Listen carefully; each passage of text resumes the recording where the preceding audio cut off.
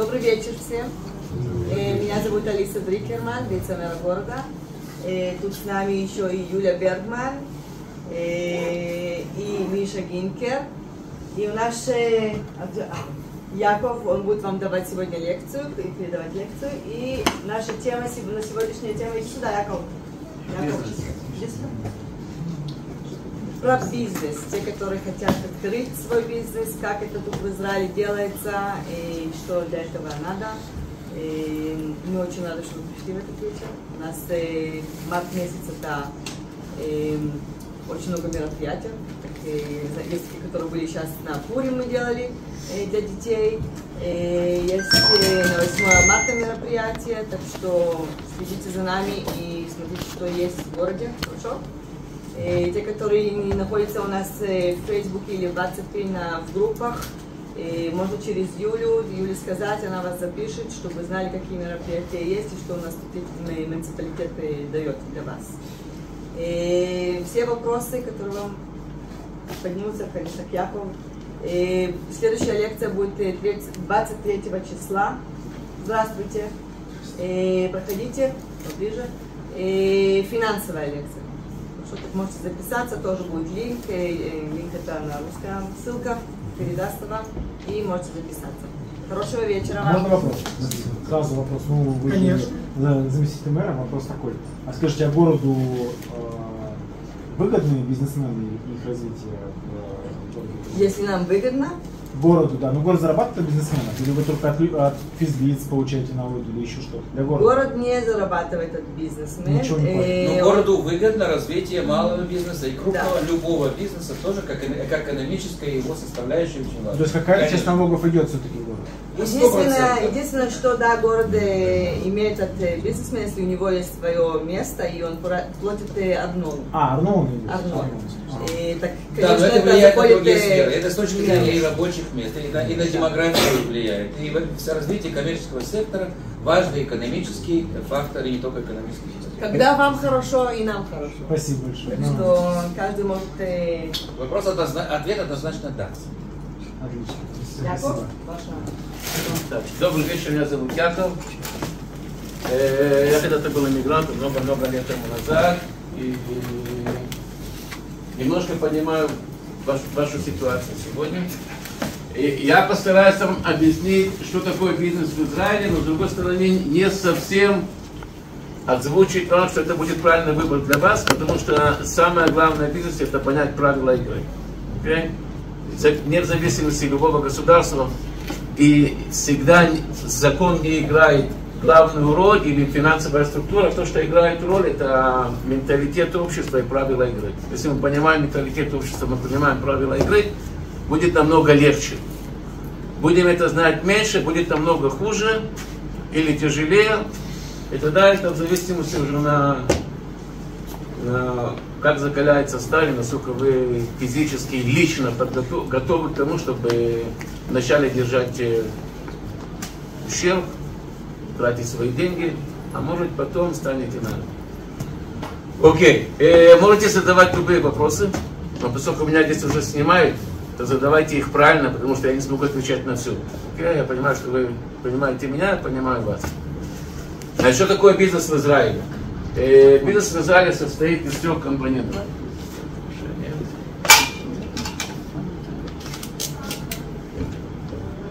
Окей? Э, это кто? Официальное лицо, это тема и это место. Кто это официально, на кого будет записан бизнес.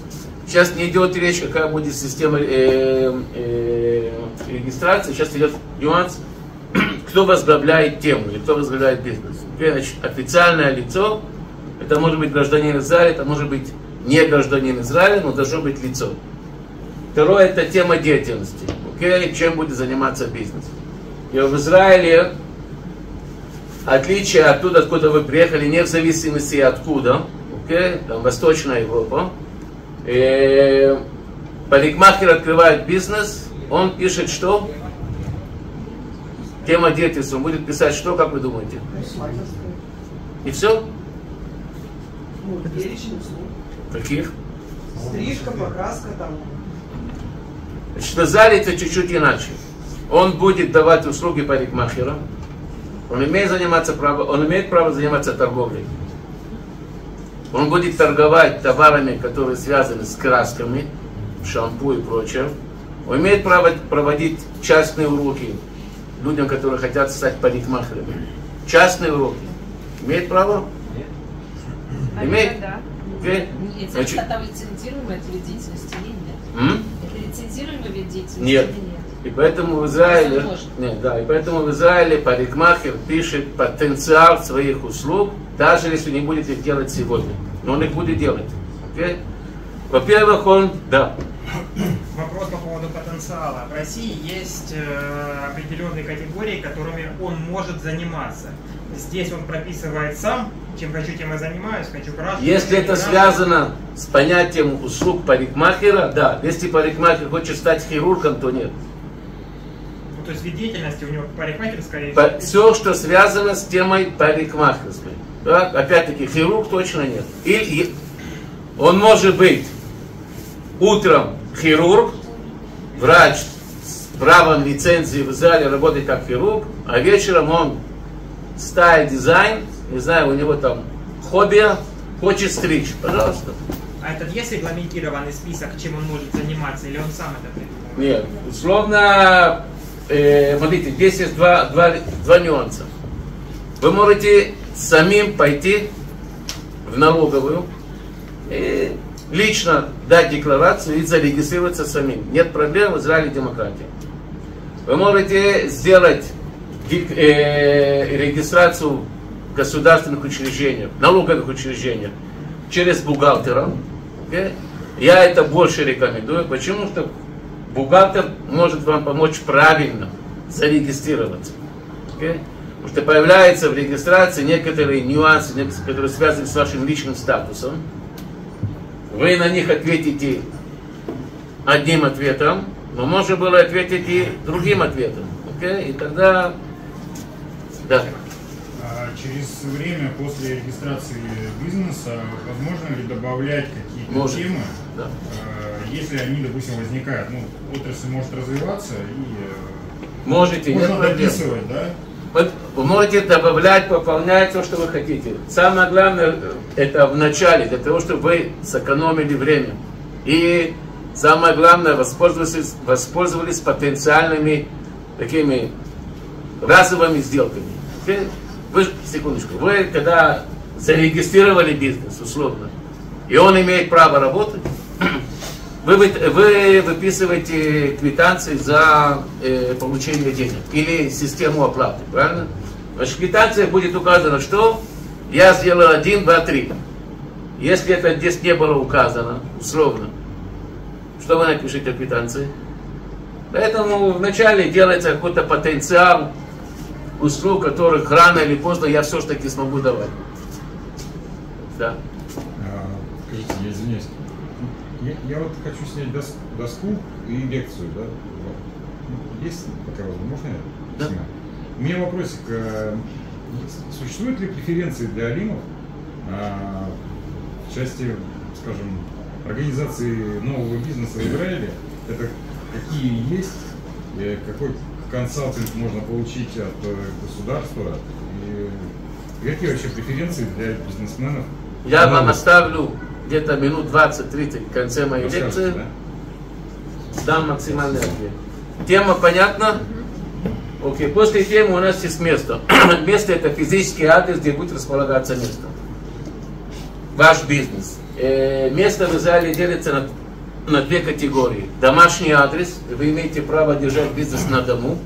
И если вы будете держать бизнес на дому, то условно плюс-минус 20 или 25 процентов коммунальных домашних расходов вы имеете право списывать под бизнес.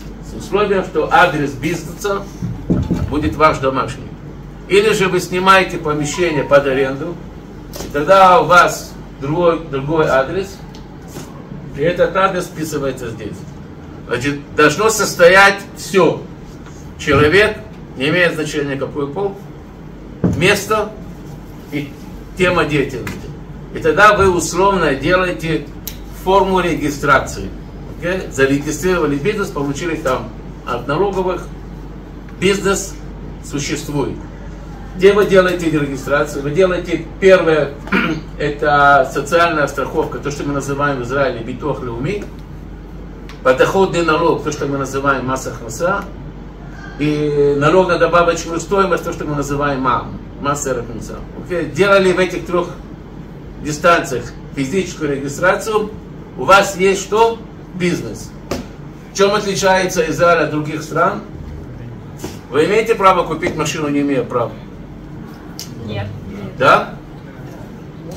Вы имеете право также и в Израиле зарегистрировать бизнес, он не имеет права работать. То есть даже если вы условно зарегистрировали физический бизнес, он находится на бумаге, получили разрешение. Это не значит, что этот бизнес имеет право работать. Дам вам пример. Берем детский сад. Okay? Вы имеете, каждый из нас может пойти и зарегистрировать бизнес, сказать, у меня есть детский сад. Но в системе законодательства Израиля, в штате работников детского сада вы должны иметь официальное лицо, которое имеет высшее педагогическое образование. Без этого okay, бизнес будет зарегистрирован, но не имея права работы. То есть теперь вы будете зависеть от какого-то диплома, который будет висеть на стенке. Да? Диплом есть, работаем, диплома нет, официально не работаем. Okay? И есть и другие подобные стадии бизнеса. И поэтому здесь условно желательно пообщаться с бухгалтером до регистрации бизнеса, как это повлияет на меня с точки зрения специфического разрешения для дальнейшей деятельности зарегистрированного бизнеса. Да. Вопрос. Скажите, вот лицензию, что выдают от Министерства образования вот в Израиле и профессиональную, допустим, э, может кто-то пользоваться этой лицензией? Ну, то есть человек пришел на работу, попросили его документы, его лицензию, вот как вы сказали, и потом... Это вы сказали, попросили его документы. Ну, Я сказал, что он будет в штате работников. Но... Давайте правильно вопрос. Но могут использовать его лицензию, он об этом будет не знать. Есть какой-то механизм в государстве проверить это? Он в рамках законодательства, этот человек входит в штат работников. Что будет потом? То есть человек пришел, допустим, в компанию, которая занимается электрическими услугами. Условно я, я, я сделаю короче. Вы пришли, да. и у вас есть нехватка добавочных доходов. У вас есть друг говорит, слушай, Боря, давай так вот, договоримся, я повешу твой диплом, ты даже не должен приходить. Окей, сколько ты хочешь. Договорились. Поймали Борю, поймали вас. Ответим. А? Это касается только лицензируемого бизнеса? Это касается тех бизнесов, которые кроме регистрации формально нуждаются в добавочном разрешении. Там, Но например, это, это, это, например, детский сад. Хотите открыть гараж? Аптека, допустим, да? А? Аптека, наверное, тоже. Аптека, гараж, окей? Вы обязаны иметь в штате работников э, профессионального, э, профессиональное лицо, которое проходит добавочную подготовку и курс Министерстве транспорта. Без этой подготовки и лайсенса, бизнес будет зарегистрирован, но не имеет права работать.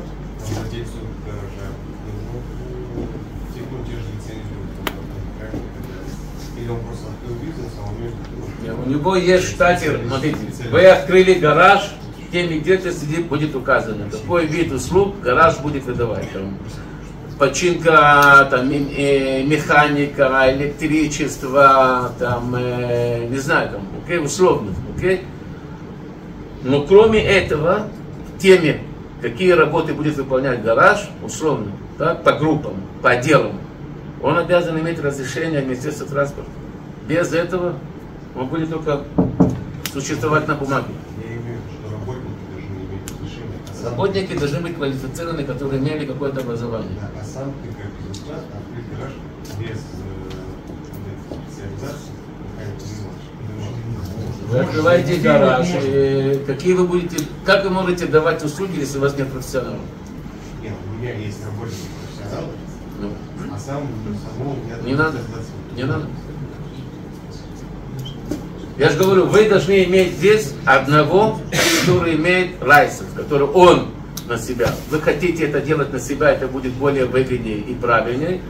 Вы хотите делать это на третье лицо, вы будете постоянно от него зависеть. Вот и все. Правила простые. А если, например, технологичный бизнес и специалиста найти в Израиле сложно, и как, как, каким образом можно, например, имея в России этих специалистов, сюда их пригласить в качестве рабочей силы? Проблема с этим. Потому Ну, что они должны, они должны соответствовать пройти израильское, израильское разрешение. Э, Типичная проблема с врачами. Вы можете, может приехать врач со стажем 30 лет. Да. Я не об этом хотел. Я сказал, я имел в виду, скажем, в области там, робототехники, да. Э, э, Это специальность, например, в Израиле, как техник, э, который обслуживает, например, систему определенную. А, Я его, например, не найду. А мне он необходим для того, чтобы он мне Здесь вопрос, Можно ли- вы, вы, вы неправильно задали вопрос, вы должны были задать вопрос иначе. Можете ли вы привести профессионала так, да. окей, Я оттуда? окей? Э, Какие-то пути существуют, я не в курсе. Я знаю, что есть работники с э, Молдавии, есть работники с э, Румынии, есть работники с России, которые сюда приезжают на специфическую работу. Но это вы должны пройти целый процесс разрешения, чтобы ввести этого человека, сделать на него страховку, сделать на него право работы в Израиле, за него отвечать, э, въезд, выезд. Система существует, но я не в курсе. Где ее узнать? Министерство экономики и развития, там есть Проверьте отдел. в интернете. Есть компании, которые этим занимаются. А консультанты в мэрии Кармеля имеется, вот, например, какой-нибудь русскоязычный? Не знаю. Не знаете? Окей. Э, Это проехали? Да. Понятно всем?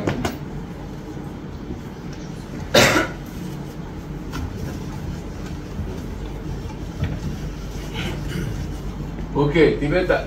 В Израиле э, регистрация бизнеса, она делится глобально на две группы. Есть понятие частный предприниматель и есть понятие компания ЛТД. Частный предприниматель делится в Израиле на три ступеньки. Э, есть э, неправильный перевод на русский. Есть мелкий бизнес.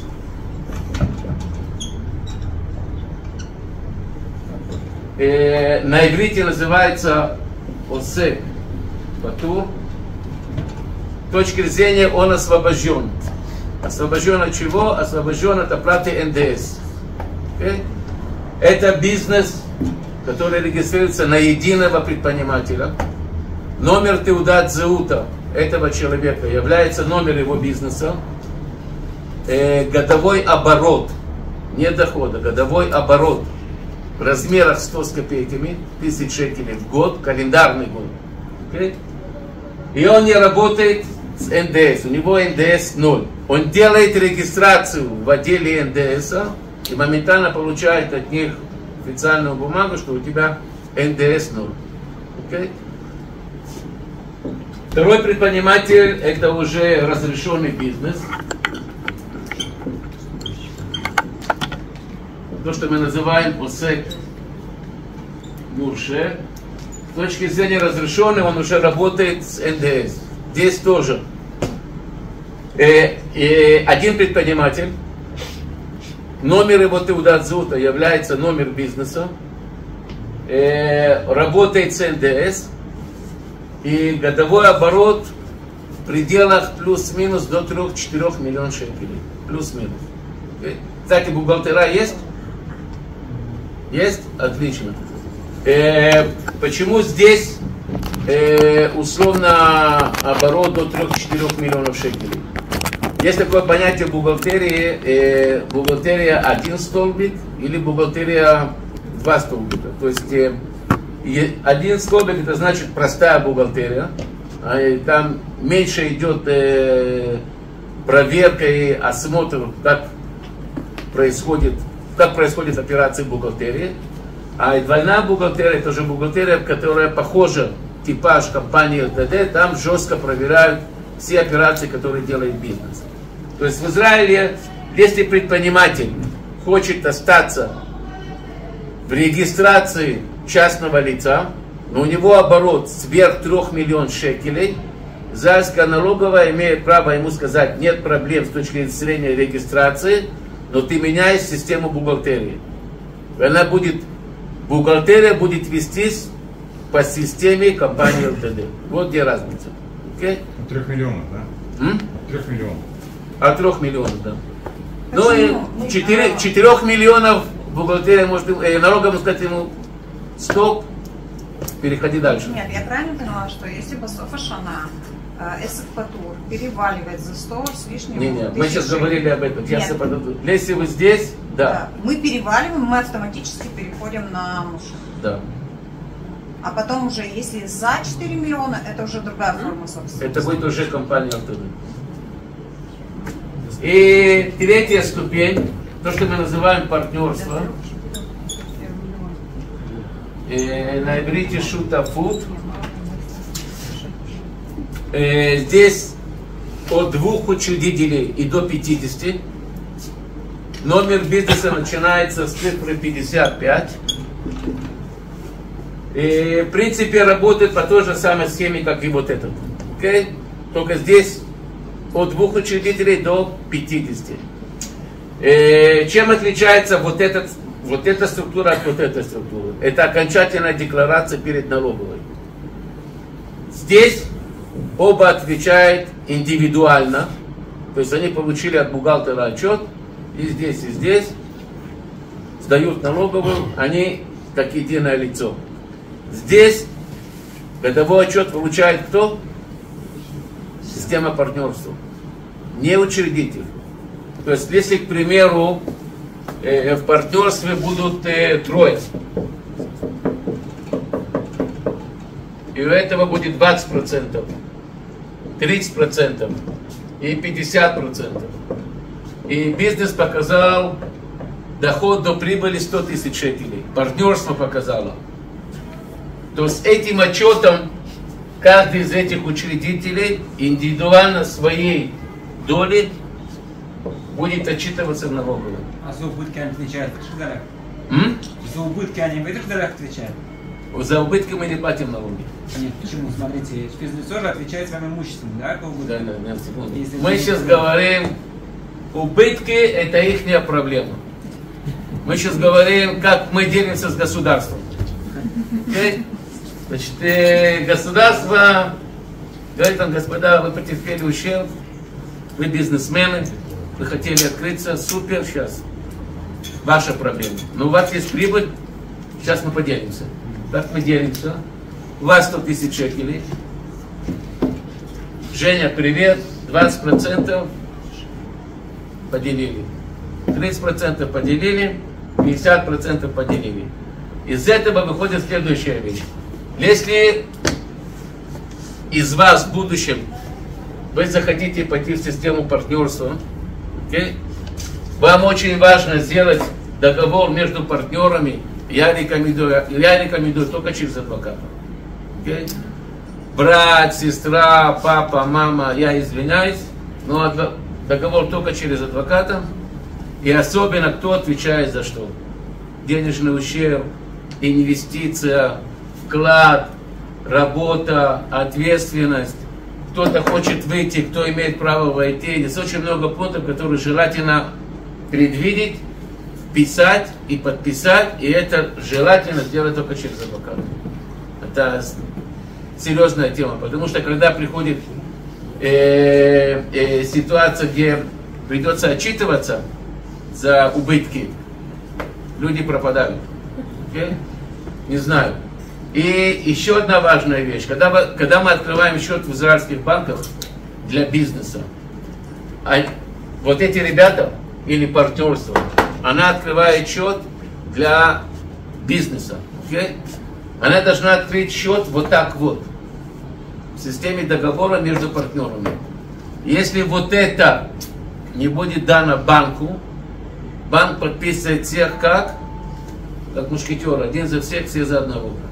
И тогда этот будет очень-очень горько страдать. И поэтому я, да, рекомендую изначально договор через адвоката, и этот договор сдается в банк, и любой кредит, который будет выдан на партнерство, этот будет отвечать только за 20%. Да, у вас был вопрос? Да, вопрос такой. А учредителями могут быть только физлицы, или может быть комбинация два физлица и юрлицо? Ну, законодательство не ограничивает? Нет, это лицо. Нет, смотрите. Здесь не может, в лице не может быть Вот смотрите, вас раз, два, три. Нет, я говорю Миша, Да. Боря, И- Женя. А здесь может быть ЛТД? Номер три это будет ЛТД. Может, но я очень рекомендую. Это, это верный путь, верный путь не Ну, туда. и, ну, если объединяются несколько компаний, просто есть компании, есть два инвестора. Смотрите, компа- компания, компания это не инвестор. Компания это, это юридический статус.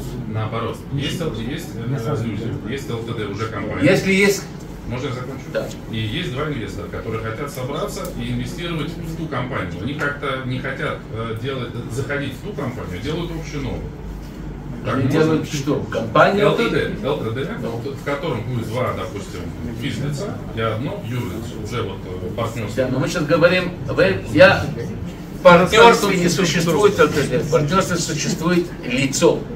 Окей? Здесь могут быть от 2 до 50. Нет, это всё Компания ЛТД что-то другое. Они, они своим имуществом отвечают. А? Ну, то есть, смотрите, когда физлицы и бизнесы отвечают все Они здесь, здесь, и здесь, каждый из них отвечает личным имуществом. Еще вопрос, а на работу в любом варианте можно нанимать?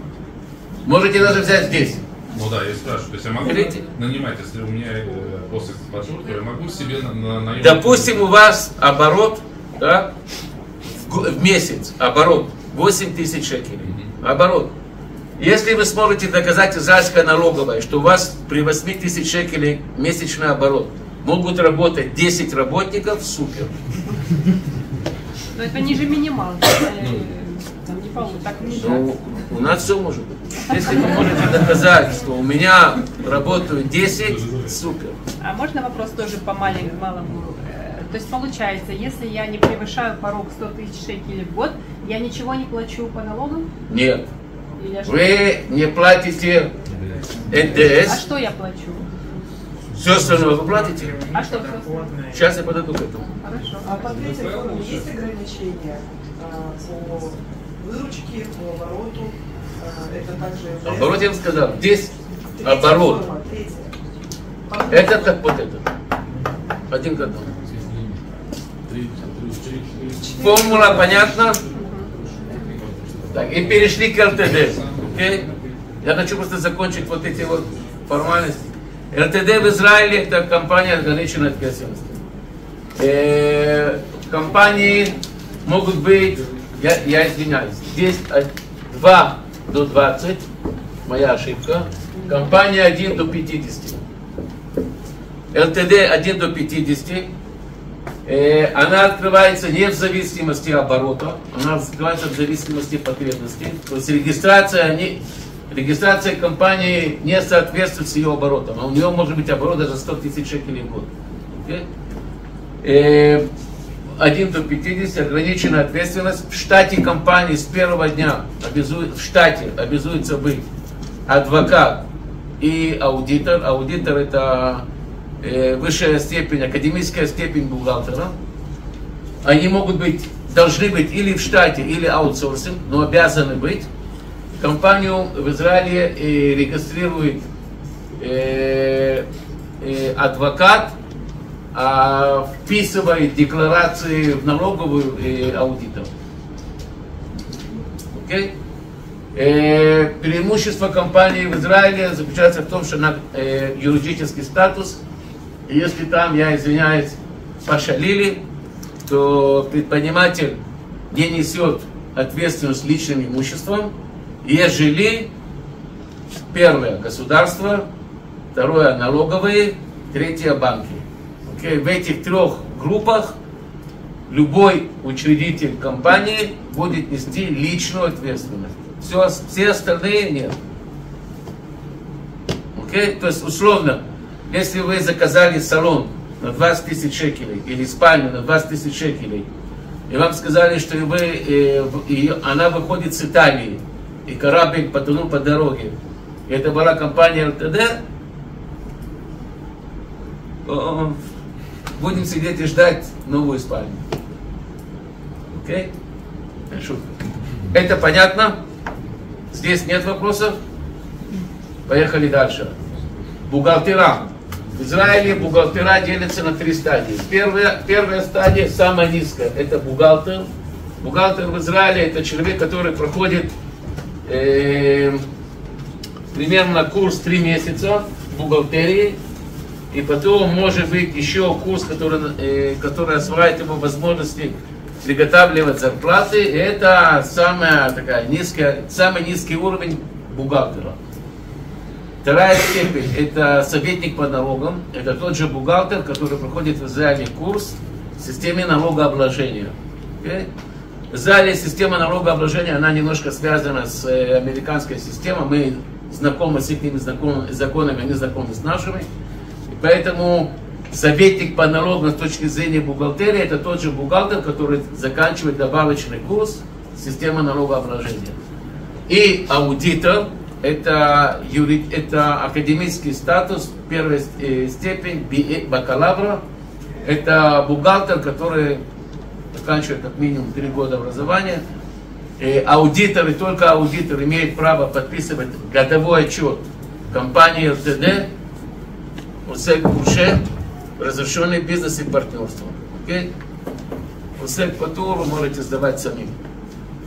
Э, и такая интересная вещь. В Израиле бухгалтера не отвечают ни за что. А если бухгалтер жена? Я, можно смеяться, но нормально. Э, лучше посмеяться сейчас, чем потом. Э, на что такое не отвечает за что? Он не несет ответственность за, за приготовление отчета, который вы сдали за счет ваших квитанций.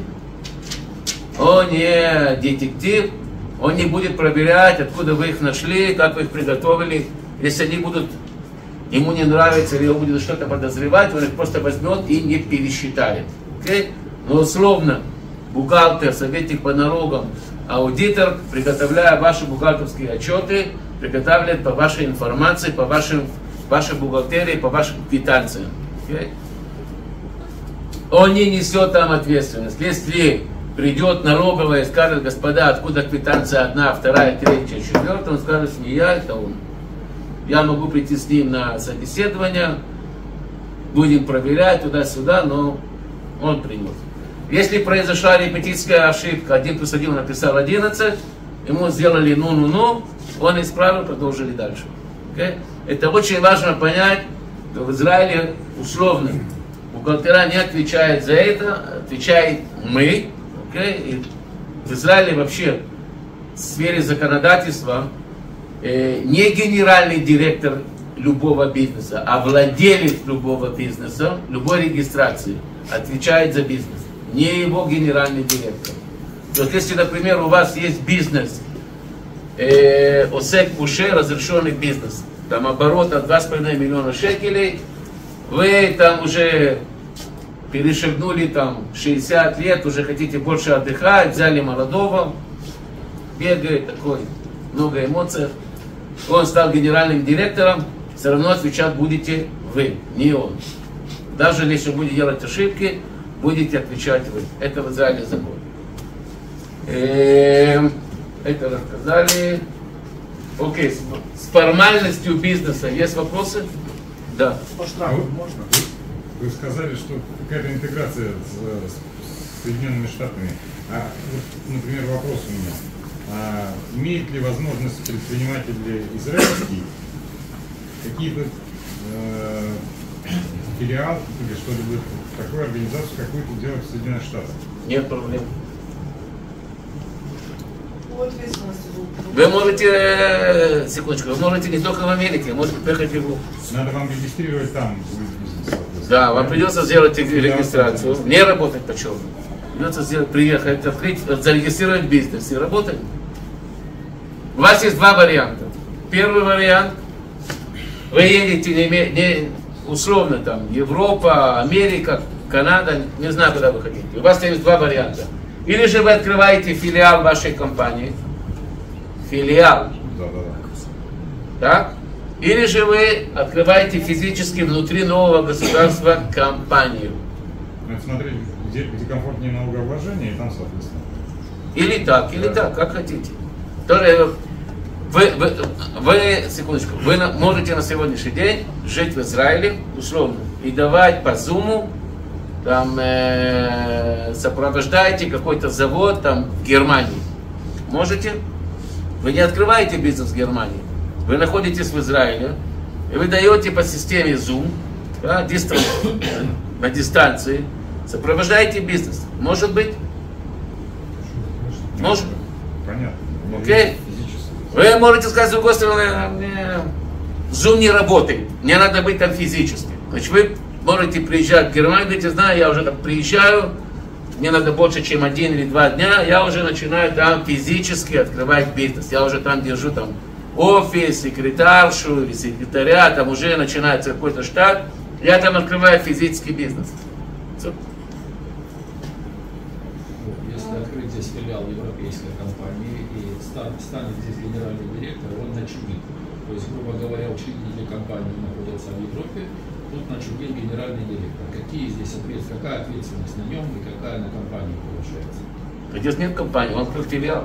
Ну, филиал, да. Филиал зарегистрирован в Израиле или нет? Или это просто Надо точка? регистрировать. Надо регистрировать филиал, да. Если вы регистрируете, так вы регистрируете его как, как, как бизнес в Израиле. Да, как бизнес Если в вы Израиле. регистрируете его как бизнес в Израиле, вы открываете точку. Вы обязаны работать по системе законодательства Израиля.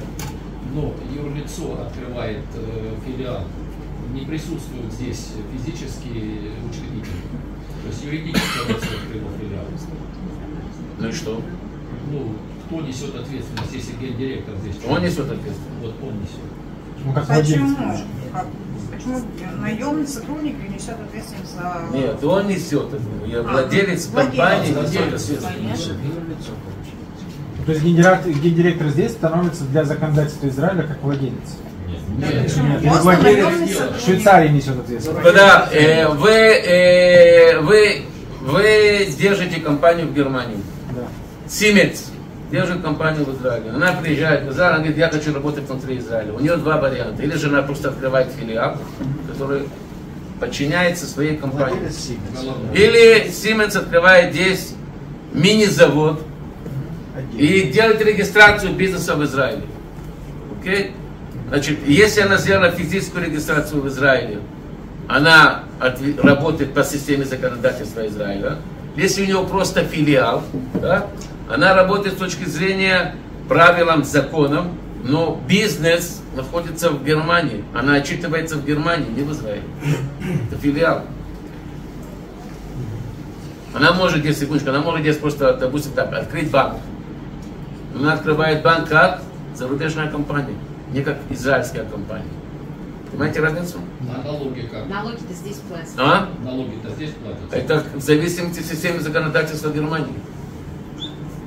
Если у вас нет договора о двойном налогообложении, вы платите и там, и там. И платите разницу, дельту. Если, если израильская компания держит, если израильская компания работает за рубежом тоже, окей, и она там условно э, израильский бизнес, израильский предприниматель дает декларацию о всех, о всех источниках своих доходов. Он может делать доходы в Израиле, он может делать доходы в Европе. Так? Он может прийти и господа, я доходы, которые сделал в Германии, я там уже заплатил какой-то процент от этих доходов. Берут относительно сумму денег, которая была сделана в Германии, переводят ее в Израиль, проверяют вот это вот условно сумма денег, сколько должно было, было за- заплатить налог в Израиле, сколько было заплачено в Германии, разница платят в Израиле. Бухгалтер э, сделал ошибку и налоговая насчитала штраф. Если вы смогли доказать налоговой, что это бухгалтер сделал ошибку, тогда налоговая будет рада вам вернуть денег. Но вряд ли это будет. То есть на самом деле все-таки влетает предприятие. Не, ну как условно. Если бухгалтер сделал ошибку, так, и это не репетитская ошибка. Сроки Какая? сорвал. А? Сроки сорвал. Отвечаете вы? Ну, то есть получается, что первое, что ты должен сделать, если ты хочешь начать бизнес в Израиле, это сделать верную ставку на бухгалтера. Это Который понять правила игры в Израиле. Это понять очень четко, кто отвечает за что. Правила игры. Если вы не понимаете правила игры, вам придется сначала за эти правила игры заплатить самим. Потом вы будете больше понимать. Я вам сейчас так вот расскажу, как зале сдается годовой отчет. Значит, по э, системе законодательства 31 мая следующего года мы сдаем годовой отчет за предыдущий год. Да? Теперь, если мы смотрим на частное лицо, и как вы на иврите? Каха-каха? Да? Но есть, такое, есть такая фраза на иврите, называется «мацав кашель», тяжелое положение. Значит, э, предприниматель имеет право обратиться в налогу сказать «мацав кашель», и они ему могут продлить сдачу документов с 31 мая до конца июня. Следующего года, да? Теперь, если этот предприниматель имеет бухгалтера, то теперь и бухгалтер может сказать «мацав каше», и он имеет право продвинуть срок выдачи э, годового отчета от месяца до двух. Это июль-август. Теперь, если э, вы, предпри- э, вы бизнесмен, предприниматель, вы не просто вас э, э, сопровождает бухгалтер, вас со- сопровождает контора, там много бухгалтеров, окей? там даже советники по налогам. Они имеют еще такой вариант и еще продлить на месяц. Мы уже где? Сентябрь. Август-сентябрь. Если вы у аудитора, и это не один аудитор, а контора с многими аудиторами, вы можете продлить еще примерно на два месяца. То есть, условно, вы сдаете годовой отчет, секундочку, вы сдаете годовой отчет теку, э, прошлого года уже к концу текущего года. Люди, которые разбираются в математике, понимают, что один плюс один будет вам. Налоги платятся позже. М? Налоги будут э, уплачены позже. Нет, наоборот, вы можете просто пересчитать. С макета тогда. А? Налоги оплачиваются на конец года, либо на момент сдачи декларации. На момент сдачи декларации. А, ну вот, значит, они позже будут платиться. Да, да. А, вот про мацав каше. э, Это же не просто я пришла и сказала, знаете, мне так тяжело, просто разрешите. Это же какие-то причины, пункты, да, которым я должен соответствовать. Почему это мацав каше? Меня здесь просто фотографирует, здесь, здесь хороший анекдот. Если в зале такое место называется Иерусалим, там где стена плача. Там оттуда идет мацав каше. Ну, что просто приходишь и говоришь, ну, уже. На усмотрение киды.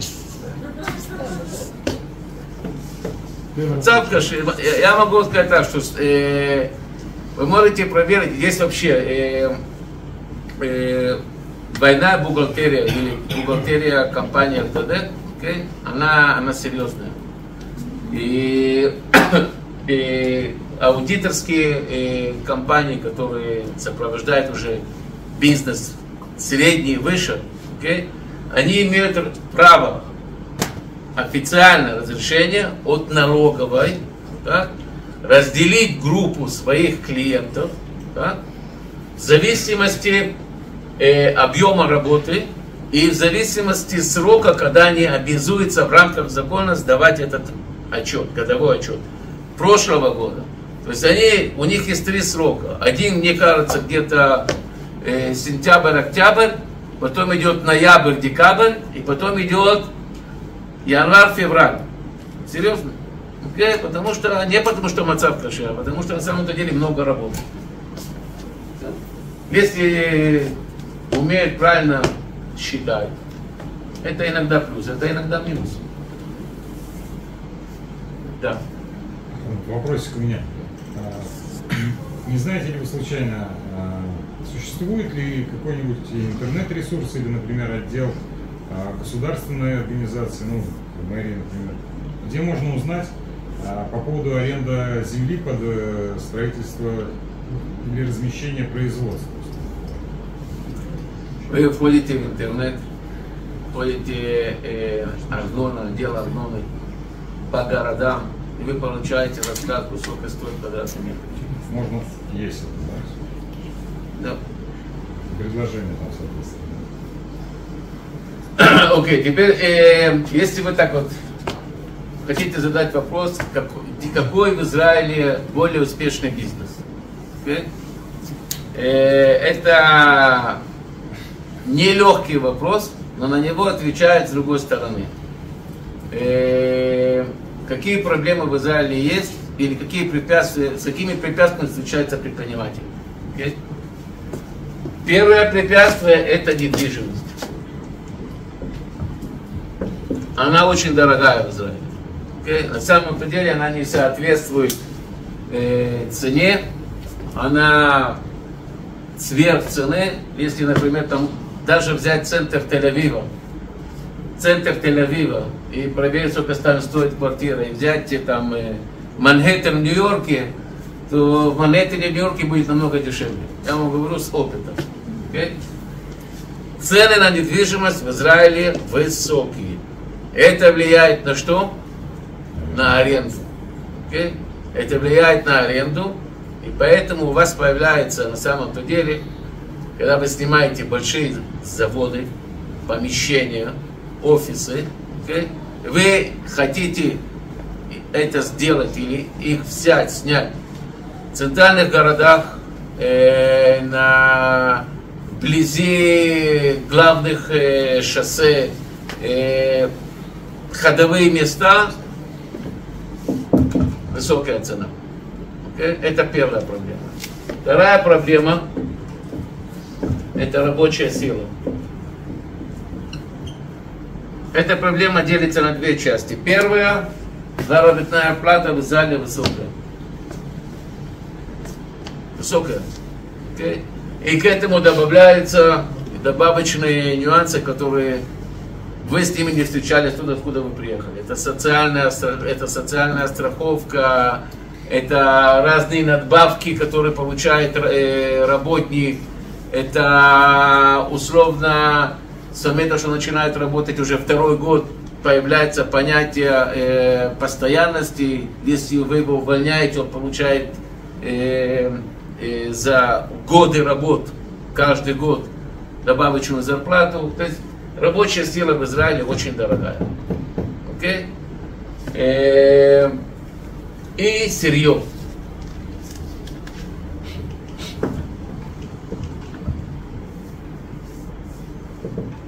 Сырье, которое не, не существует в Израиле, okay, востребует у вас, кроме сырья, закупки сырья. Что еще? Логистику. И логистика на 100%, она не зависит от нас. Если взять пример э, корону, то логистика поднялась в цене примерно где-то в 300-500 раз по сравнению с ценами, которые были до короны. И это только поднимается. Okay? Я говорю логистика, не сырье. Сырье тоже поднялось. То есть если взять вот эти вот три компонента, они очень влияют на потенциал получения прибыли. Потому что в конце концов, когда мы открываем бизнес, что нас интересует? Я не хочу зарабатывать, хочу получать прибыль. Okay? И не хочу ни с кем делиться. То есть если я хочу получать прибыль, не хочу ни с кем делиться, где у меня могут возникать проблемы? Вот они. Okay? И если мы посмотрим, как это повлияет на среды бизнеса, то у нас есть там условно, там, допустим, туризм, у нас есть услуги, э, торговля, э, производство. Я здесь пишу так, хай-тек.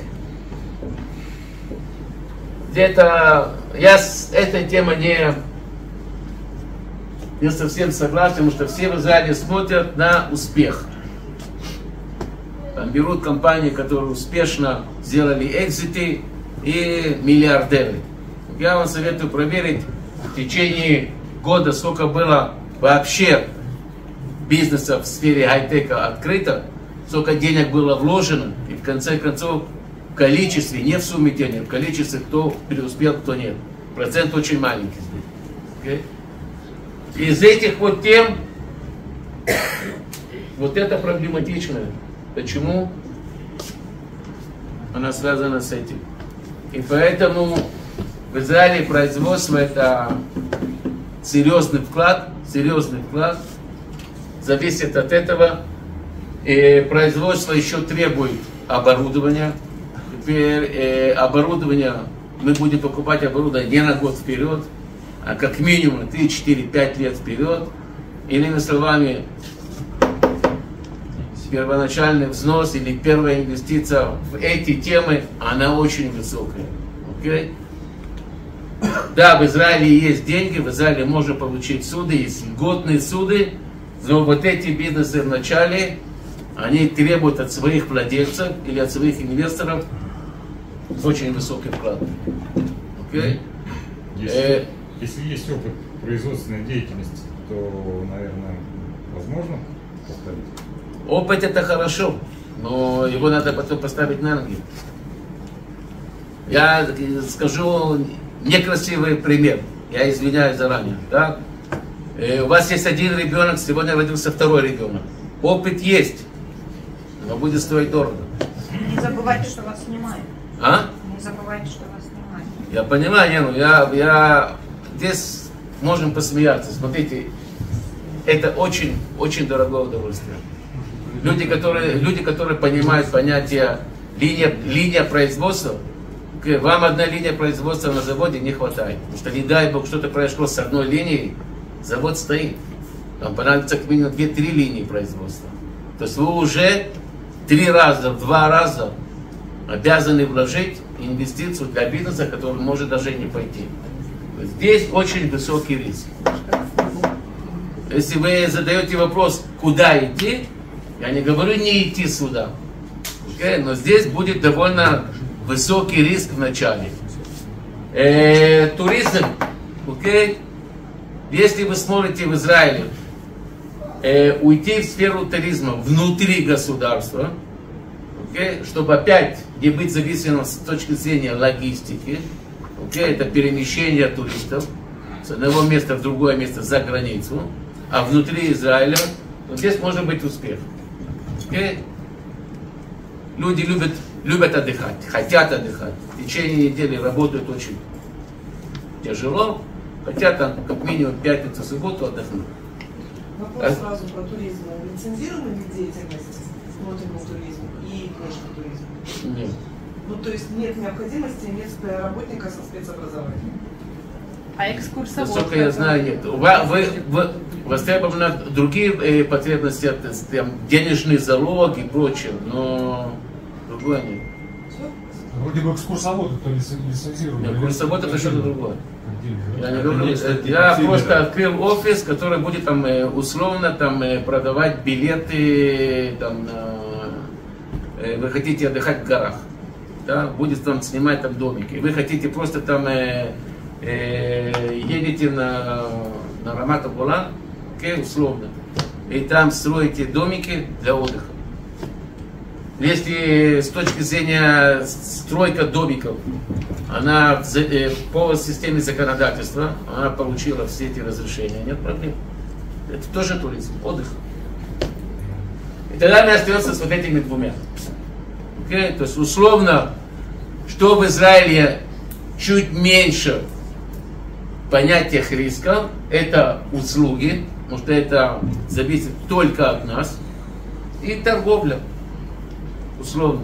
Окей, Вот эти вот две темы, они больше, э, в больших объемах развития и больше э, востребованы в Израиле. Окей? Вот это идет больше. Я не говорю, что здесь нет риска, но здесь намного меньше, чем здесь, и здесь намного меньше, чем здесь. Окей? Вот это. Окей. И, и еще одна вещь, которая очень-очень отделяется в Израиле от того, что вы при- принято там. Окей? Это понятие страховки. Вы все бывали у зубных врачей там, вы все бывали у косметологов там, вы все бывали у э, массажистов там, здесь чуть меньше, окей? В Израиле условно, условно, любой профессионалист, который выдает личные услуги свои, делает страховку профессиональную на несчастный случай. То есть в Израиле любой бизнес, любой, да, у него три вида, три вида страховки. Первая страховка, э, он страхует свое имущество. Сгорело, замыкание, э, наводнение, не знаю что, буря, окей? Он застраховал свое имущество. Второй вид страховки, страховки это страховка третьего, э, тре- несчастный случай, третье лицо. окей? Там э, э, вы психолог, вам пришел э, пациент, вы пока в кабинете, он там сидит, вас ждет, секретарша ему там налила кофе и слегка, не знаю что, кипяток на него. Там, не знаю, обжег, не знаю что, его в больницу. Есть страховка, супер, отлично. И третья страховка – это профессиональная страхов- страховка, которая страхует нас на момент выдачи наших услуг нашему клиенту. То есть психолог сказал ему, тебе надо 1, 2, 3, он сделал 4, 5, 6, теперь иди докажи, что произошло. Он будет судиться. Он будет судиться с чем? За моей спиной существует компания, которая застраховала мои услуги. Окей? Там этого нет. В Израиле это да. Окей? Делают или не делают, это что-то другое. Окей? Но я могу, что в Израиле это делают. Даже прост- прос- простой косметолог, наращивание ногтей. Окей? Наращивание ногтей в Израиле делают страховку. Не все, но делают. То есть это не обязательно. М? То есть это не обязательно. Это не обязательство, но с опыта это потом понимают очень быстро. Сколько это стоит? Э, от риска, вы рискуете риск. Вы рискуете, там, э, не дай бог, наращивание ногте- ногтей, это условно.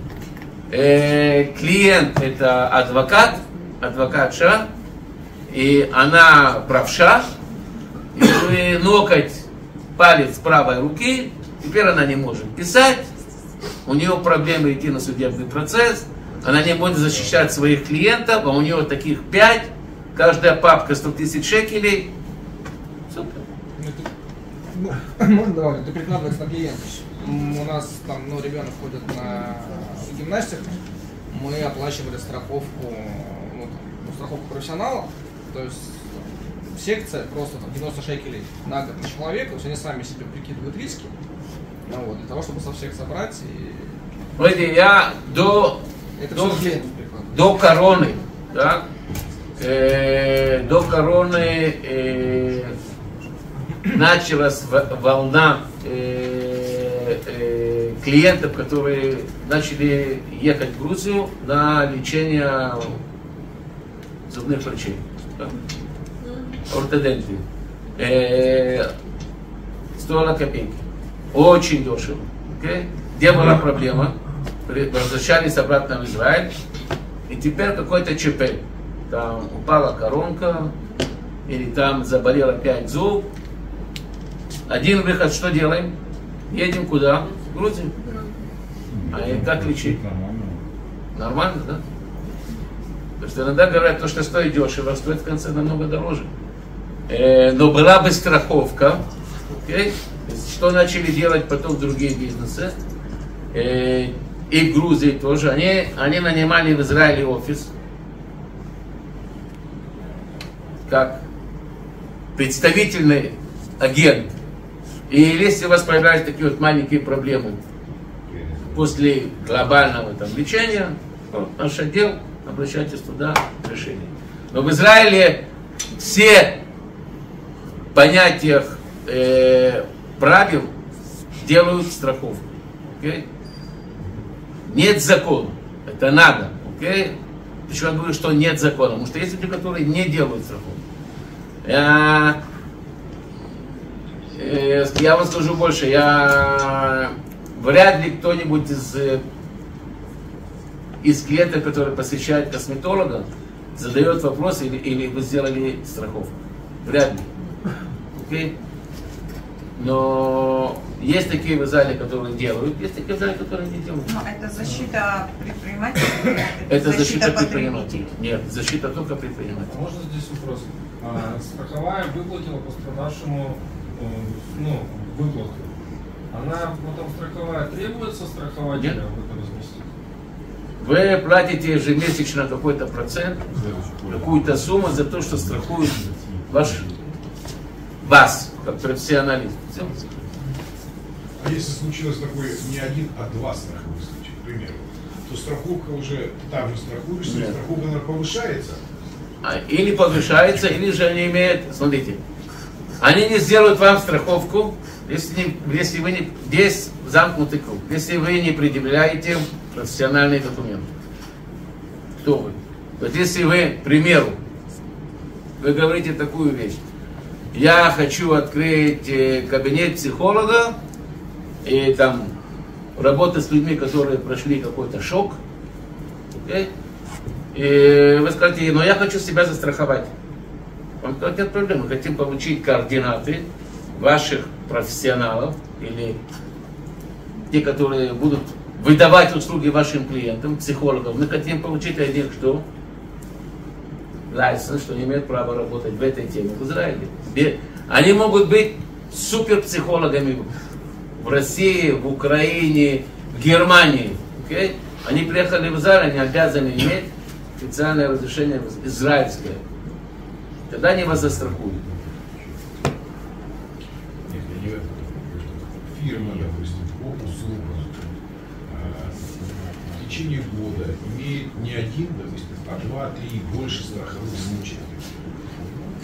То на следующий год страховка увеличивается Теории это да. Теории да. Страховая может вам вообще сказать, Она я может больше вас не отказаться. буду Секундочку, надо- они, они даже могут отказаться от стра- от страхования вашего офиса. Имеют право. Но не в момент договора. Не, не, не. не. Потом пролонгировать. Вы должен пройти срок, должен пройти срок, и потом они имеют право отказаться. Вы, вы купили машину, так? Вы застраховались, сделали аварию. Не имеет значения, кто виноват. Или вы, или вас. Окей? Вы моментально, следующая страховка вам поднимает цену. Не в зависимости, кто виноват. И страховка заключается на год? На год. На год. Но здесь очень важно понять, смотрите, здесь очень важно понять, это э, желательно взять э, профессионалов, которые умеют правильно застраховать, потому что здесь надо понять, что вы страхуете. Возьмите, например, бухгалтера. Что бухгалтер страхует? Ответственность клиента. М? Ответственность клиента. То есть он страхует, если клиент получит штраф. Окей, это его, скажем, это его профессионализм. Что он еще страхует? Все. Если у клиента штрафа нет, то значит... Всё? Клиент может подать на него суд, он может страховать э, свою вот, личную ответственность за свои услуги, да, как это правильно называется. Я вам скажу, что страхует израильский бухгалтер. Он страхует место, так, включая все, что внутри. Интерьер, э, там, э, оборудование, окей, несчастный случай, не дай бог. Это первое. Второе, это если к нему приходит клиент, сел и там, то, что мы говорим, там, не дай бог, разлили кипяток. Окей, не связано с услугой. И несчастный случай. Но здесь входит еще интересная вещь. Что очень много у бухгал- у бухгалтеров напротив глаз. А? Кроме компьютеров. Папки клиентов. Правильно? Израильские бухгалтера страхуют папки клиентов. Можете смеяться. Они берут папку и говорят так, чтобы эту папку потом возобновить. Сколько времени мне на это понадобится? Так, сколько рабочей силы? Документы, окей? Технология, копии. Он говорит так, для того, чтобы мне условно обновить одну папку, это мне стоит 5000 шекелей. Сколько у меня таких папок? 100. У меня здесь есть ценность полмиллиона шекелей. Я ее страхую. Потому что не дай бог что-то произошло. Сгорело пол офиса. Вам сейчас придется обновить все эти папки. Надо деньги. Здесь очень важно понять, каждый в своем бизнесе, окей? где у него ценные вещи, которые надо страховать. Это не только ум, это не только рабочая сила, это много других. Иногда они как будто на, на первоначальный взгляд, как мы, мы не обращаем на это внимания, но потом, не дай Бог, несчастный случай, мы начинаем страдать. Как, и мы, как это так, мы об этом не подумали заранее. И поэтому в Израиле, когда вы идете и страхуете бизнес, okay, здесь очень важно понять, с кем вы это делаете. Потому что они должны понять, они понимают, они должны, они должны понять четко, именно что они должны страховать, иными, иными словами, как они должны вас оберечь от несчастного случая. Окей. Есть? Поехали дальше.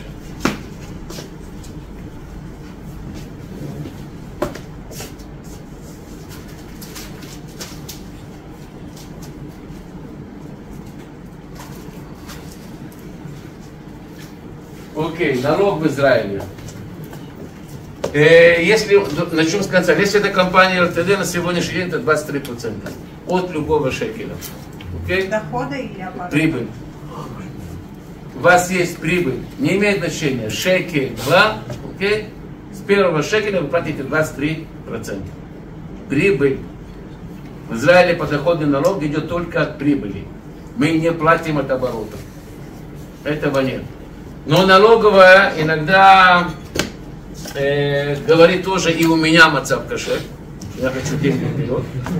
И тогда она имеет право вам назначить налог на будущее. То есть, как будто это, это на иврите называется мигдамот мас. Это э, аванс, э, аванс за налог. Okay? Это идет в процентах, и это идет от месячного оборота. То есть, если условно у вас там, они вам назначили 1% аванс, а у вас месяц, каждый месяц оборот, не доход, оборот 100 тысяч, вы будете платить тысячу шекелей каждый месяц вперед. В конце декларации следующего года, проверят, сколько вы заплатили, от этого вам скажут, сколько надо было заплатить, дельту вы заплатите. Okay? А если переплатите? Большая вероятность, что такого не может быть. Если вы переплатили, значит вы открыли трансберегательную кассу. Мне кажется, вы там не откроете.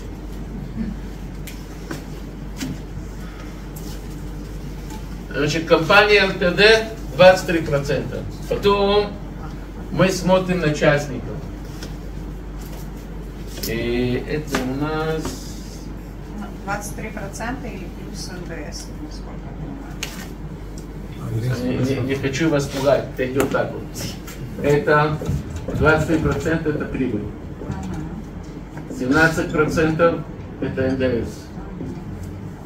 Э, мне кажется, или 30, или 35% дивиденд. Слышали такую фразу не дивиденд, а это на, на, налог на э, возможность взять де, наличные средства с компании. А? Вывод капитала. Окей. Э, это кажется дивиденд. То есть это плюс это плюс это вы это не включая социальную страховку. Окей? И сделайте вывод, какая, какой процент у вас выходит. А? Очень мало. Э, Значит, компания ТД 23%. Если мы смотрим на частника, это делится 10%, 14%, 20%, 31, 35, 47. Глобально проценты не меняются, меняется только сумма. Okay? Эм, это за 21 год. Мне кажется, она поменялась, но это 1,75 960. Это если есть сотрудники на зарплату, да? Нет. Это? Э, налог, это про- налог, который вы будете платить на прибыль, если вы частное лицо. А, если уже Нет, это 75 900 это доход. Это, до- это доход до прибыли. За- за Доход до прибыли. Доход до прибыли за год. Да. Почему? Это оборот. Доход до прибыли у частного предпринимателя. Не, оборот это некорректно. Оборот это доход. Оборот, это на иврите называется махзор. Это неправильными словами выручка. Это то, что вы получили. Да? А это что тогда? Это доход после оплаты переменных и постоянных расходов в бизнесе. У вас был оборот 100 тысяч. Это доход до оплаты налогов. Это правильно, это правильный перевод. Это не прибыль. После того, что вы заплатите здесь 10%, у вас останется прибыль после оплаты налогов. Это доход, доход до оплаты налогов. Грязная прибыль это допустим, да, например? Это для всех. Усек Патур, Усек Муршей, партнерство. Потом у вас идет 75, 961 и до 108, 960. 108, 961. Я на этом остановлюсь, потому что вы можете войти в интернет и а посмотреть. потом, когда заплатишь э, массаж носу, после этого... Сейчас, сейчас, сейчас, сейчас. Я... Э, Эта сумма доход до прибыли. В 90, э, в 23 году это немножко поменяется. Вы должны просто понять, как глобально работает. С одного шекеля до этой суммы вы заплатили 10%. Так? От этого условно должны снять 10%. Правильно? Но не снимают. У вас есть подарок. У вас есть два подарка. Да. Первый подарок называется на иврите Некудот Зикуй. Или баллы, там, баллы или очки. Личный. Каждый гражданин Израиля, как говорится, или гражданин, или гражданка имеет никуда цикуй. Не, имеет некий балл. Мне кажется, мужчина начиная с 2.25, женщина, мне кажется, 2.75 или 3.25. Это связано с пол, здоровье, личный статус, количество детей и так далее, и так далее. Бухгалтера это знают наизусть.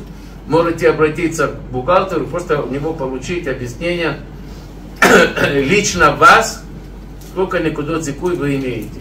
Если среди вас уже есть наемные работники, которые уже работают как наемные работники, и вы получили корешок зарплаты, у вас правой стороны внизу будет указано Никудот Зикуй и сколько. Каждый такой балл превращается в сумму денег. Он имеет сумму денег. И тогда, например, у вас э, доход был 60 тысяч шекелей. К примеру. Вы должны заплатить условно 6 тысяч шекелей. Все со мной? Проверяется, сколько у вас есть никудот зикуй. Допустим, у вас 3 никудот. Допустим, каждая никуда стоит 200 шекелей. Множат, снимают отсюда, и уже вы заплатили меньше. Понятно? Это формула. Каждый из вас индивидуально проверяет, как это касается лично вас. Это первый подарок. Второй подарок. Это э, э, есть в Израиле города, или же они вдоль границ, или же они называются город развития, где гражданин этого города получает добавочную скидку на оплату налогов. Окей?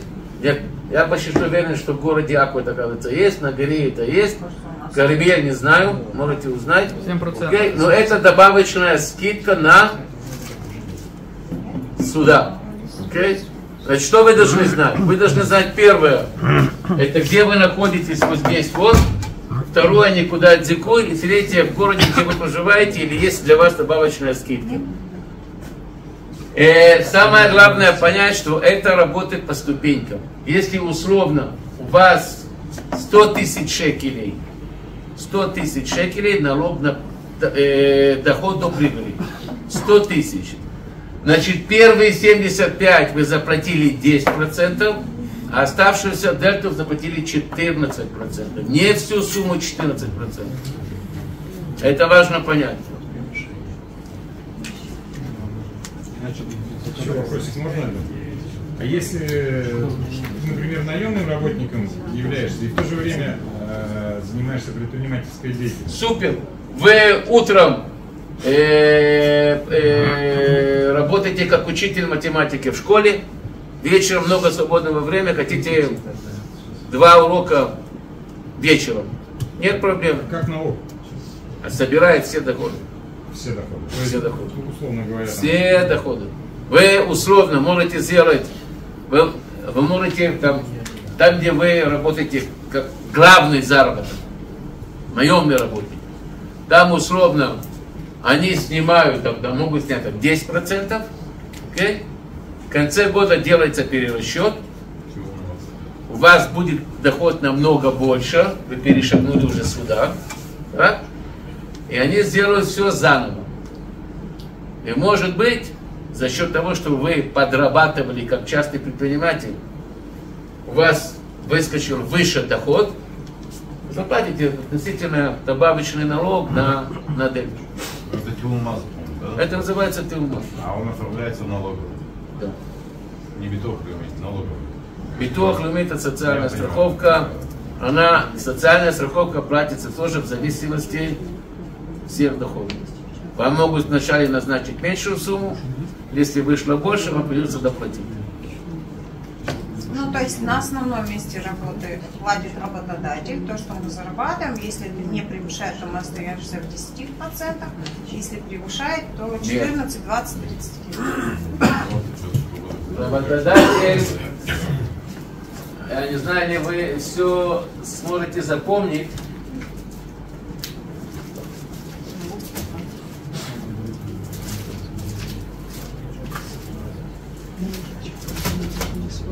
Это не связано с работодателем. Ну а как тогда? Это же тоже Если вы наемный работник, Да, если вы наемный работник, мы смотрим, какая сумма должна быть оплачена с точки зрения налога. Как это делится теперь? Есть такое понятие в Израиле средний заработок. Если э, это можно стереть?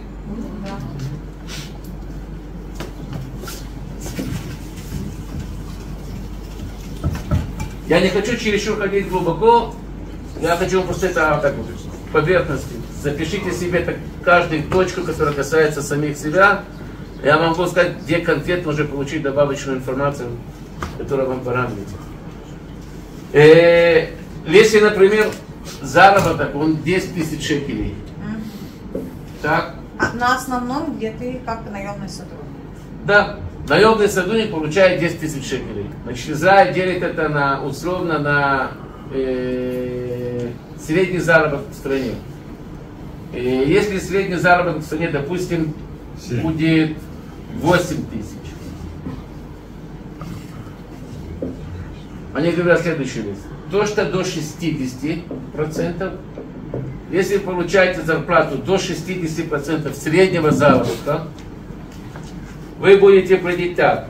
Работник будет платить битуах люми социальная страховка. Это касса.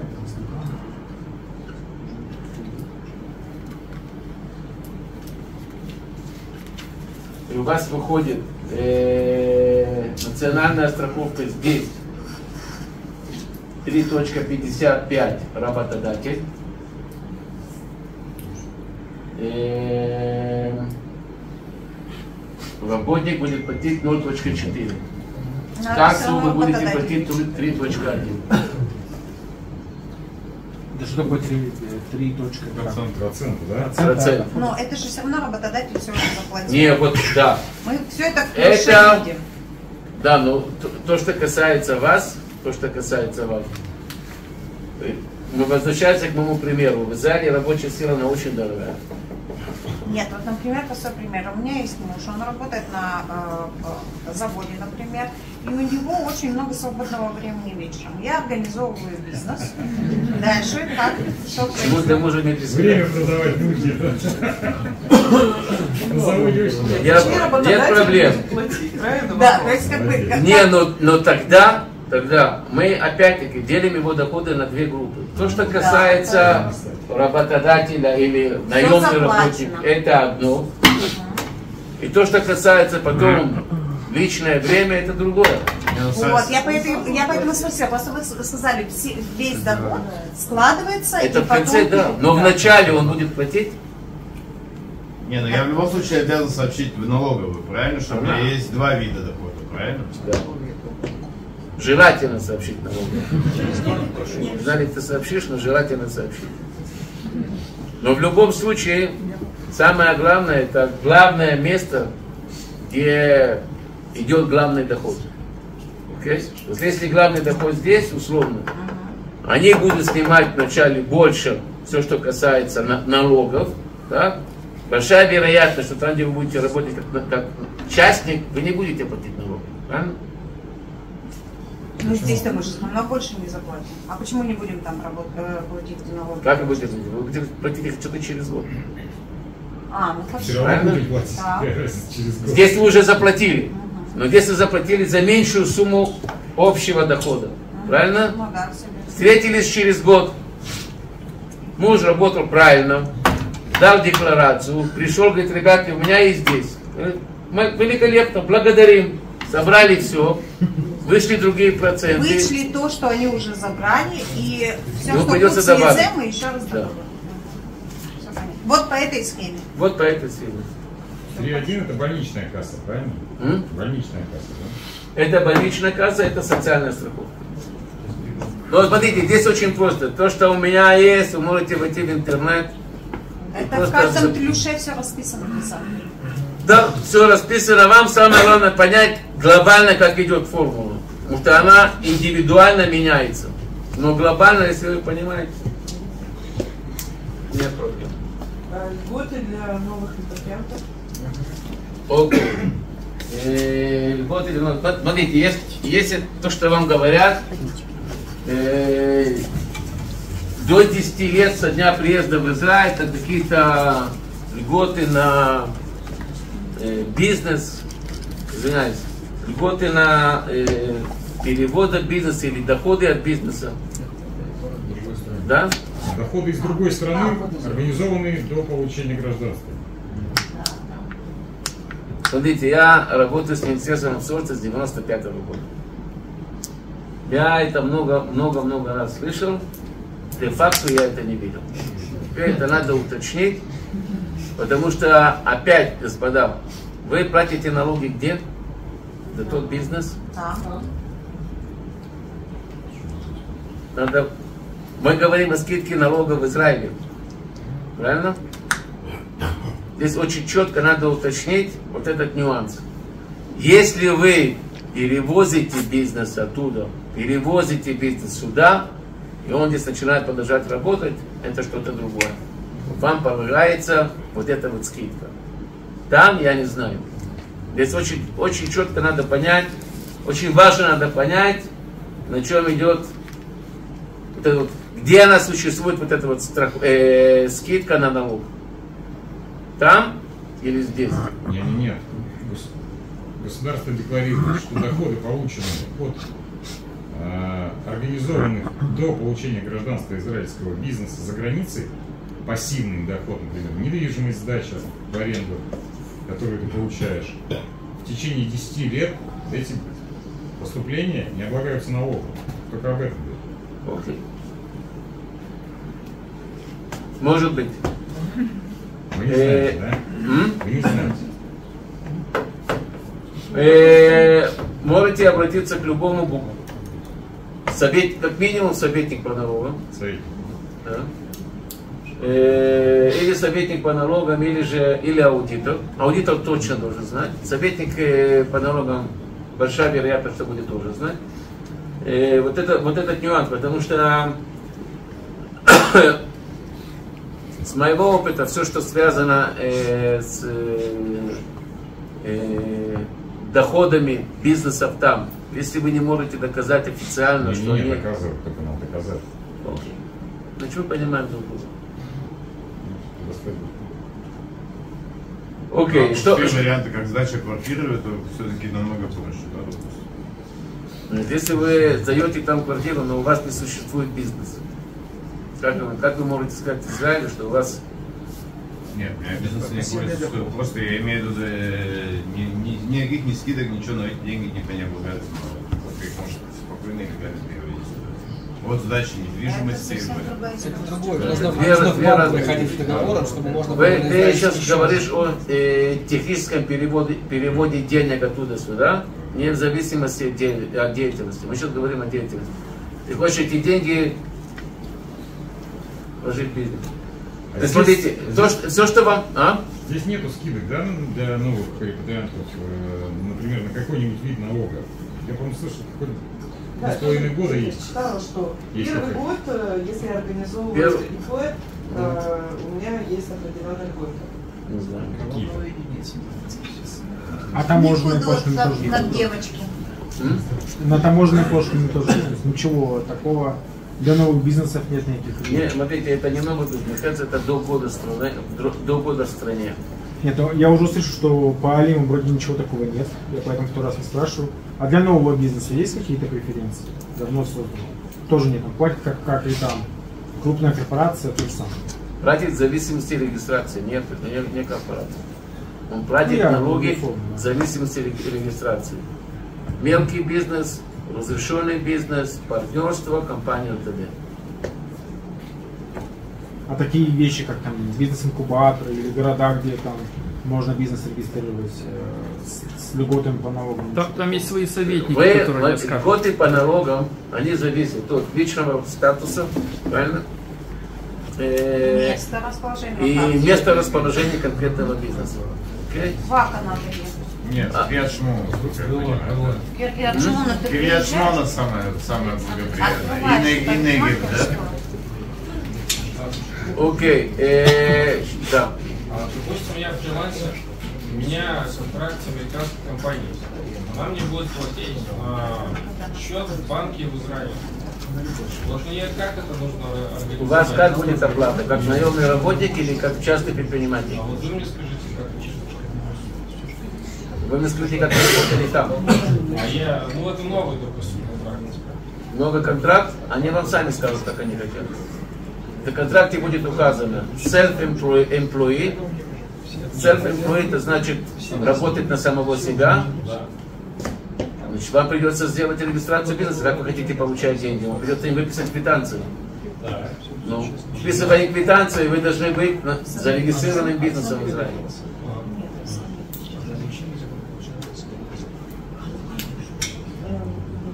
Можно специфический вопрос? А про кашрут и, халяль, и халяль можете что-нибудь сказать? Про что? Кашрут и халяль. Производство, импорт, экспорт. э, Какие нюансы? Разрешение, там, сколько стоит, к кому обращаться? Кашрут. Э, Вы хотите что? Вы хотите производить что-то? Да. Экспортировать, импортировать, производить. Нет. Экспо- экспортировать куда? Так для чего вам нужен кашрут? Импортировать в Израиль продукты. Ну давайте сначала про, импорт поговорим, а.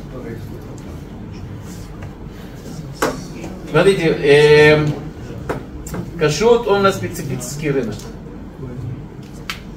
То есть, если вы есть в Израиле, вы можете прийти там кэши тамим, все слышали этот магазин, он не кошерный. А Там, что э, вопрос по кашруту я изучал. он, э, По он, поводу импорта или открытия сервиса. Если, у вас, если вам а, раввины разрешат это сделать, когда вы пройдете эту проверку, Не-не-не-не-не-не-не. то можно это Не, сделать. не, это другое. Почему здесь нет, ну, условно, почему здесь Если я могу вам рассказать, знаете, э, с мясом? где-то 15 лет тому назад я присутствовал физически на сделке. Это могу вам сказать. Э, Приехали ребята с Восточной Европы, предлагали в Израиль э, э, разные виды товаров, э, там, еды, пищи, пищи, пищевые продукты. Э, Сделка проходила супер. я уже строил себе фантазии, что я буду покупать. И на последней сделке э, обращается израильский там, владелец супермаркета и говорит, «Э, ребята, вы только какой кашрут сможете нам предъявить с э, товара за рубежа? Какой вид кашрута? Они даже не, не колебались на секунду. Говорят, ребята, вы нам покажите, как это должно выглядеть. Мы сейчас быстро приготовим. Поэтому не, не, не раб решает, а в Израиле община, которой вы хотите предъявить этот товар. А в Израиле они могут быть разные. Потому что есть э, слабая религиозная публика, есть средняя религиозная публика, есть там, неправильными словами фанаты. Это, это разные уровни кашрута. Они отделяются. Окей? Вы входите в кашрут, и вы можете не выйти. Это дорогое удовольствие, но с другой стороны, если вы делаете кашрут, вы получаете публику, которая пойдет за вами с закрытыми глазами. Здесь есть плюс, здесь есть минус. Если вы хотите получить пример, э, могу вам дать пример, можете приехать э, в сторону Крайот. Слышали, где это находится? Там есть э, э, в Кириатхайме есть э, большой магазин, называется Вайнер. Окей? У него кашрут? По- пос- Приедьте в пятницу и посмотрите, где начинается очередь. Окей? Да, это было дорого, я вам могу сказать на 100%, было дорого, но было выгодно. Но это риск. Может пойти, может не пойти. Окей? Для того, чтобы войти в эту публику, там самое главное не кашрут, это способ, а понять публику и получить к ней доступ. Кашрут это способ, это не цель. Очень дорого. Если вы, а? На одном производстве у меня может быть часть производства Нет. или На сто процентов нет, я вам ответил. Вы должны это так жестко разделить, что вам уже будет невыгодно. Это насчет кашрута. Но с другой стороны, да, есть плюс. Это публика, которая пойдет за вами с закрытыми глазами. Но там проблема не в кашруте, там проблема это понимать эту публику. Хорошо, я понял рынок. Как мне теперь получить разрешение на своем производстве? Если вы поняли рынок, вы выбираете уровень кашрута. Выбрали уровень кашрута. Обращайтесь, например, к этой общине. Говорите, господа, пошлите мне вашего раба. Не моего раба. Не раба города там Хайфа или раба города там Тель-Авива. Они вам посылают раввина от их общины. Там, если это бадат самый высокий, Хорошо, это где-то прописано в Да, да, вы- государственных документах сумма, которую там... они вам скажут, не волнуйтесь. Насчет суммы можете на 100% не волноваться. Они даже скажут, кого брать на работу. У них свои законы, они работают по-своему. Это, это очень тяжело определить. Ты, э, скажут тебе одно, а другому другое. Это ничего такого не написано. Нет, все. Окей, кашрут закончили. Что, импорт-экспорт? Импорт-экспорт. Еще по кашруту один вопрос. Да. Допустим, условно Рами Леви, да, то есть там, мы заводим там определенный товар. Если у нас самая низшая стадия этого кашрута, Рами Леви может сказать, что мне это не устраивает, мне нужна только высшая стадия. Да. Ну, то есть, как бы, если ты хочешь работать с сетями, которые в Израиле именно Смотрите, я же говорю, в Израиле есть разные уровни кашрута. Вы должны понять, на какой уровень вы метитесь. Потому что это будет другая, это совершенно другая публика. Они между ними тоже, у вас это Хабад, это Хасидим, это Харидим, это э, Бней, э, Бней Карта. Ответили. Окей, импорт-экспорт. Эм, Смотрите, довольно просто, потому что экспорт, Израиль очень хочет и готов, чтобы было побольше экспорта. Вам надо условно просто найти заказчика за рубежом. И правила игры Правила игры диктует заказчик за, э, за рубежом. Здесь, в принципе, условно нет никаких барьеров. Израиль хочет, чтобы был экспорт. Окей? Насчет импорта, здесь welcome to Israel. Здесь начинается все интересно. Здесь надо понять, это идет пища питания, это один подход. Это идет э, строительное э, э, сырье, это будет другие проверки. Это то есть, здесь есть понятие стандартизация и внутреннее разрешение того или иного э, предмета, который вы хотите завести. Окей? Э, и я вам советую так, лучше обратиться, э, есть такое понятие Амиль Мехес. Амиль Мехес это, это брокер, который занимается таможенный агент. Лучше обратиться к ним. Я понимаю, что мы все думаем, что мы лучше знаем всех, но насчет импорта и экспорта только с ними. Здесь хуже, чем кашрут. А они дают консультацию? Они дают платную консультацию, платную но они дают. И, и, соответственно, уже оф- оформляют... э, ну, Сначала они вам дают э, консультацию. Да. Я советую прийти уже с готовыми вопросами, получить ответы в письменном виде, чтобы потом не было нюансов, что вы мне неправильно объяснили, или же вы неправильно поняли. В Израиле желательно получать ответы в письменном виде. Поводу ответов. Они могут на русском языке предоставлять для полного понимания, о чем идет речь? Потому что если они пред- допустим, на иврите с кучей э, специализированных терминов, там можно вообще не разобраться. Смотрите, есть, есть брокеры на русском языке тоже. Мацев считается Что касается оборудования и транспорта, которые есть в стране исхода. Вот если я приехал сюда и хочу, вот, например, не знаю, парник поставить или какой-нибудь маленький э, заводик сделать. У меня есть там оборудование, я имею какие-то преференции привезти его сюда. Какие-то эргон э, на таможне, что или у меня там есть транспорт свой, я хочу вот машину привезти и ей здесь пользоваться. Как Это оборудование э, было произведено на Западе или на или Европе? Или э, на Востоке или на Западе? А Восток это что? Это А? Восток это э, какие границы? В России, например. Ну, в России. Вот у меня в России есть э, какой-то маленький станок, вот я его хочу привезти. Окей. Ему А уже 5 лет или 10 Какую лет. работу будет выполнять станок?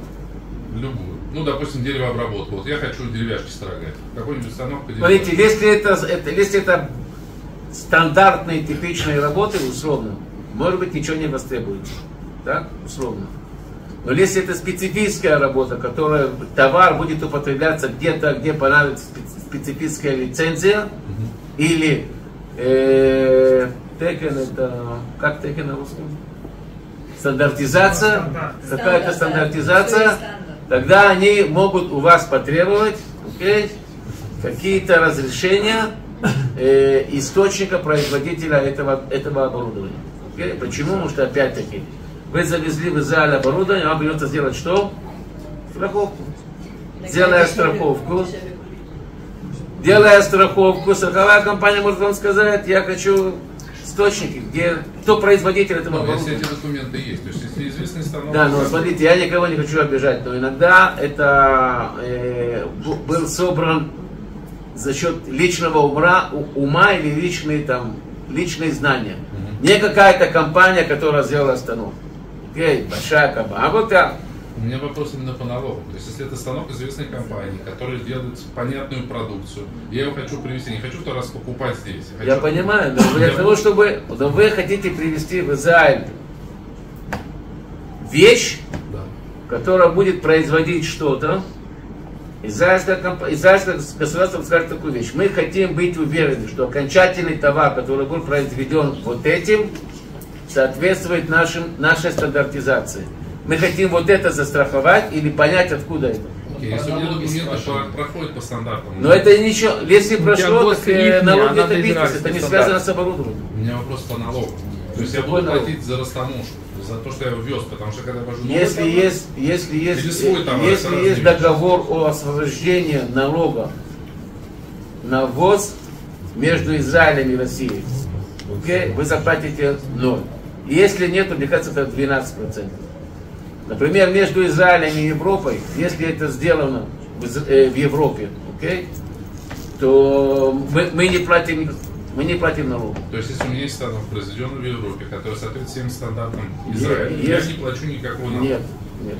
А если я машину купил европейскую, у меня машина, допустим, Мерседес, я хочу привезти Э, свой машина Мерседес из Москвы. Ну, я уточняю. вообще А если она для бизнеса? Вот я, Где узнать? Позвоните брокеру. Ну, я же говорю, лучше всего позвонить. Машина это, это удовольствие. Два с половиной процента, два, два раза с половиной от стоимости цены в Европе. Це маєш. Моя машина, которой я пользовался там 5 лет. Це маєш. Неважно, да? Да. Тут в Израиле любят приезжать на все. Налог. Хорошо.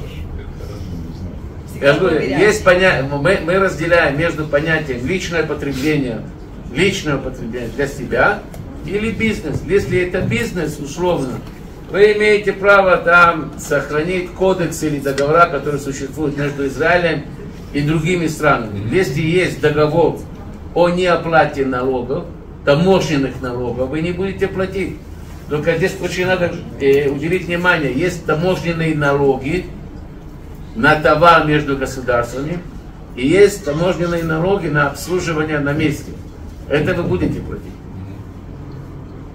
Поняли разницу? Лучше всего таможенный брокер объяснит четко. Но это именно брокер рассказывает. Брокер. Не таможенная служба, то есть не госструктура, это же это, а, брокер же Таможенный брокер. А называется на иврите Амиль Мехер. Все. Они знают все. Они имеют кодекс, я вам скажу больше. Нет, вопрос это больше государственная или коммерческая структура, потому что в России есть таможенная служба, к которой ты приходишь, а есть брокер, который это коммерческая структура. И у каждого чуть-чуть могут отличаться. Не-не-не, мы говорим о брокерах, которые, у которых задача освободить товар, который был ввозен с, с какого-то государства. Вы хотите вот это? Еще более фундаментальный вопрос, да, я думаю, всех интересует. В России, например, есть там торгово-промышленная палата или какие-то структуры э, содействия экспорту.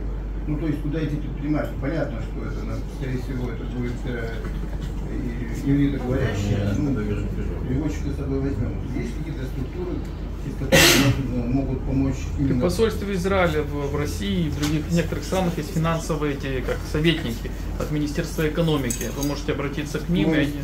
Ну, интересная вещь. Окей, смотрите, есть э, э, для, иммигра... для новых репатриантов, которые приехали в Израиль, и до, до 10 лет со дня приезда в Израиль. Условно, Министерство абсорбции, я не делаю реклам, э, рекламу, но условно, Министерство абсорбции есть отдел по открытию бизнеса. Окей? Э, да. Как называется? Отдел Да, отдел по открытию бизнеса. Окей? И условно для репатриантов, которые приехали в Израиль, до 10 лет со дня приезда существует две группы услуг.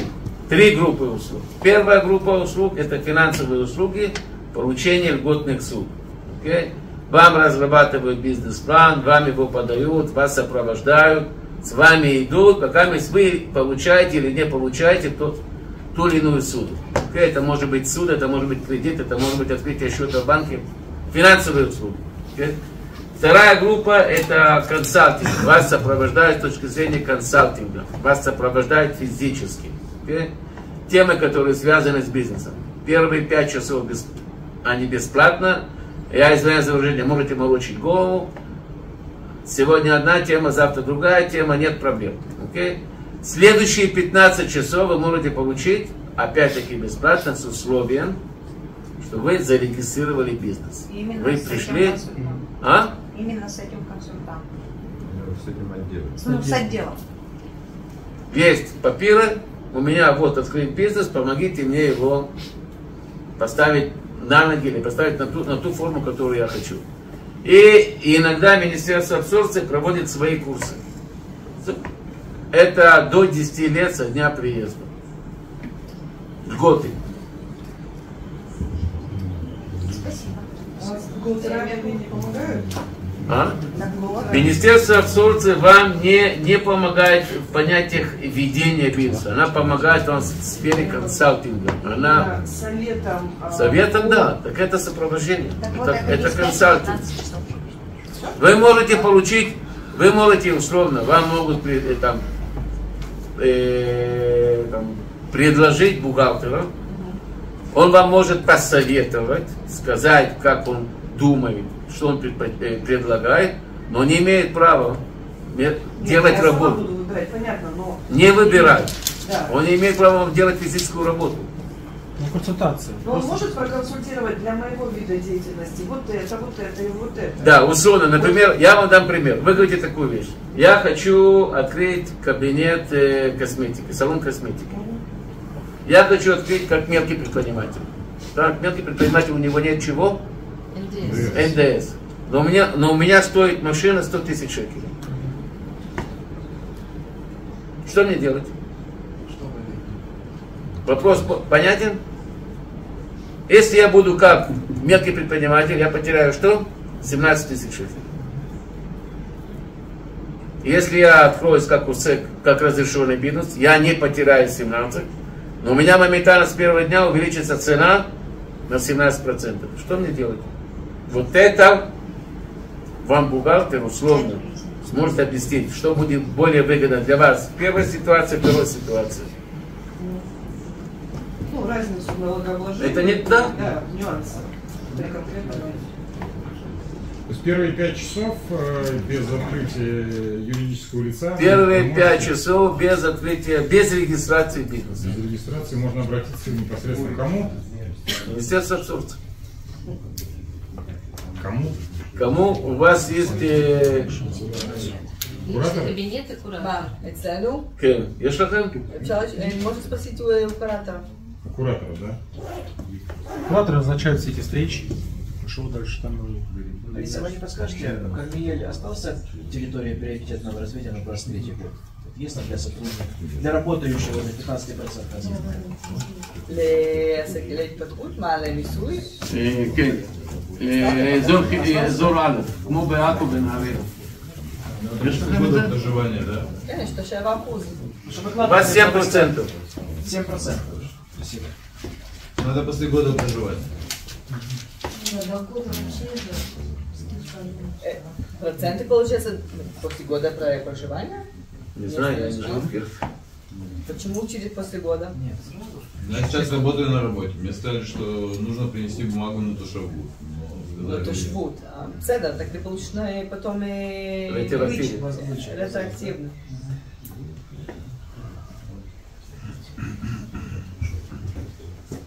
Все? Спасибо вам огромное. Спасибо вам-